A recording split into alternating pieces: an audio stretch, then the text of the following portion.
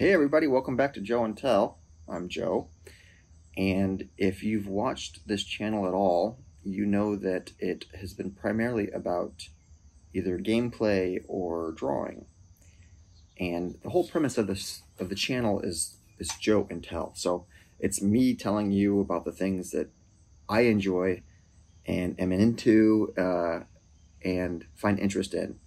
So so far that's been video games and drawing.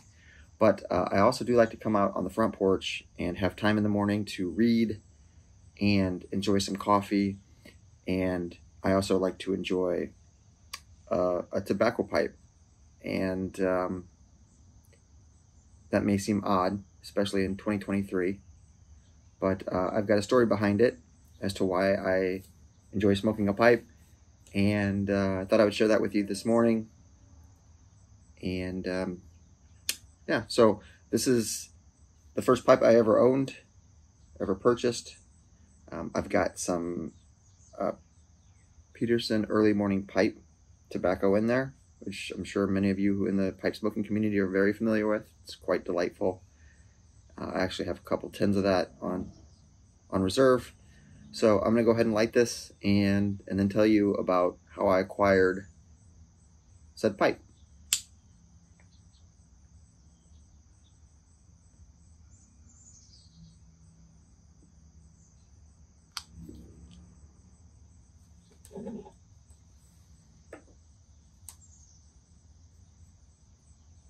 So obviously we are outside, so I apologize for any background noise you might hear. Can't really control that.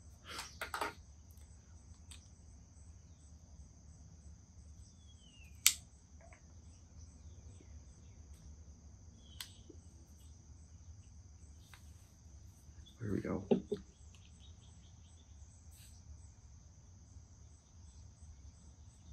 Now we're talking. So, uh, to back up a little bit, I, I guess at like 18, when I could legally buy them, I got really into cigars. And not just like smoking cigars, but the whole process, the, the growing of the tobacco, uh, the aging of the tobacco, the humidor, the, the, like the whole process. I was just infatuated by it. So I was really into cigars. And then I think, you know, um, at the age of, I guess it was 19, I thought, I, wouldn't mind trying to smoke a pipe.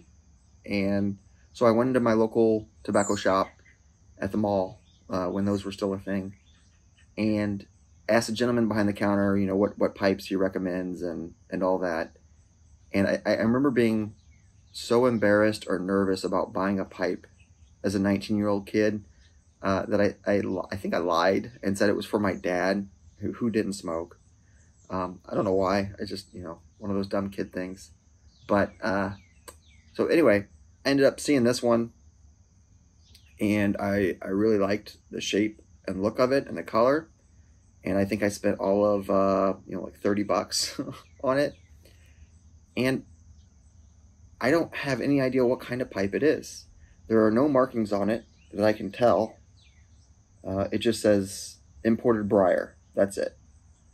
So, no idea who made it, where it came from, but this is the first pipe I purchased. I've had it for over 20 years, and uh, in that time, I, I probably smoked it maybe five times a year, if that, uh, and that was usually on vacation. Sometimes it would sit uh, and, and go unsmoked for years. Um, but all that changed about two years ago and I'll tell you why just a minute.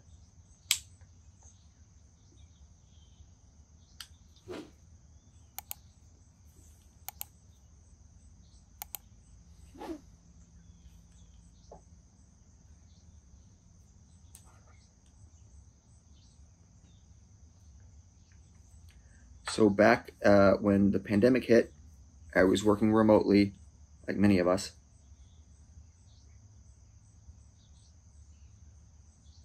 and I met a gentleman who shall remain who shall remain nameless to protect his identity.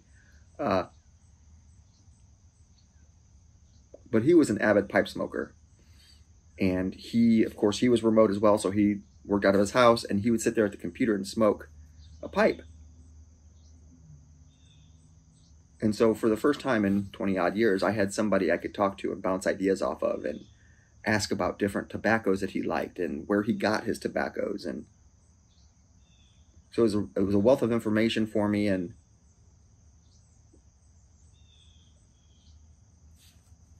uh, much to my wife's uh, disappointment, he told me about a website called smokingpipes.com. And uh, after perusing that website and um, over the last year or two, my, my pipe collection has gone from one pipe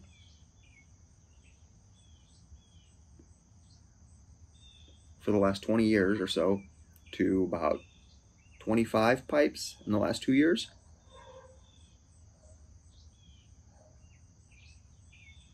Now, I know that's not a lot. For some of you guys out there, you got 100, 200, 300 plus pipes in your collection. Uh, oh, and by the way, I show my wife those videos, and uh, she just shakes her head and says, don't get any ideas. So I got a ways to go before I catch up to any of you. But I do have about 25 of them, and uh, I got a lot of tobacco. That's you know, and my wife doesn't necessarily mind so much the the pipe smoking. She she's more, I think, more concerned about the pipe purchasing and tobacco purchasing. Why do you need so much? Need well, you know, you, you want to try them all, right? so. I don't know how many tins of tobacco I have. It's, it's a lot. Again, not as, as much as some of you out there, but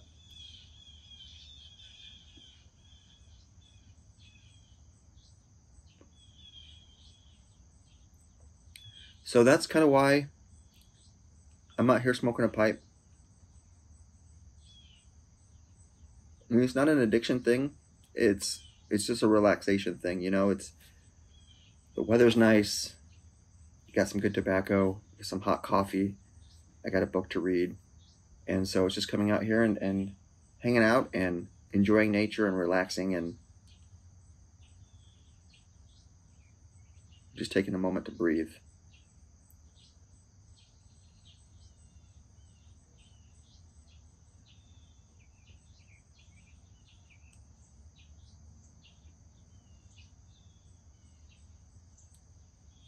So I think I'm going to get to reading my book this morning. I hope you enjoyed this little chat. Um, like I said, I just wanted to share another thing that I enjoy doing. And uh, oh, maybe we'll do another one of these on the second pipe I ever purchased. So until next time, thanks so much for watching. Be great if you liked and subscribed. And we'll see you in the next video.